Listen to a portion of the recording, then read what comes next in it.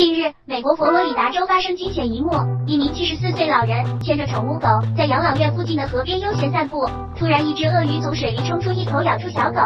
老人当时身穿白色棉衫，最重叼着一根雪茄，见爱犬被鳄鱼拖下水，老人没有犹豫，立刻跳下水与鳄鱼搏斗，不顾自身安危，直接徒手将鳄鱼的嘴掰开，帮助爱犬脱离魔口。狗狗成功获救后，老人表现很是淡定，即便几乎全身湿透，关键全程嘴里的雪茄都没灭，真是抽烟打怪升级酒狗啥都不耽误。小编除了感动，还想说一句，你大爷不愧是你大爷。事后，老人带爱犬去宠物医院做了检查，除了小狗的肚子上有一个洞，其他并无大碍。老人也表示，当时鳄鱼突然袭击，他也没多想，只觉得小狗的生命就掌握在自己手里了，所以才会毫不犹豫下水营救爱犬。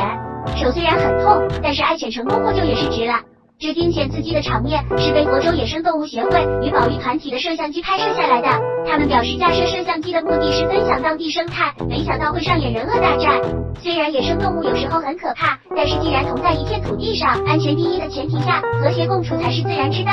现在老人遛狗都离河边远远的了。美完美了，看看播报。